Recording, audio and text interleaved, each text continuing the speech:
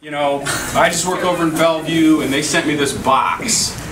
And I'm not exactly sure what's in the box, but I'm gonna get something and find a way to open it up and let's see what's inside the box. Hi, my name is Marina Stepanov, and I'm a student in TriTech. Amanda Ariano, and I'm a student here at TriTech. Stephanie Lopez, and I'm also a student here at TriTech. So we created our app, Safe and Sound, that would help teens learn how to cope with uh, anxiety and stress, and kind of teach them how to get help. So it's that first step to realize to getting the help that you need. Uh, we've been checking all morning, uh, refreshing the Verizon page, and Mrs. Kinder has been checking her email. And we've been trying to figure out who won, if we won or lost. And a bunch of people with cameras came in.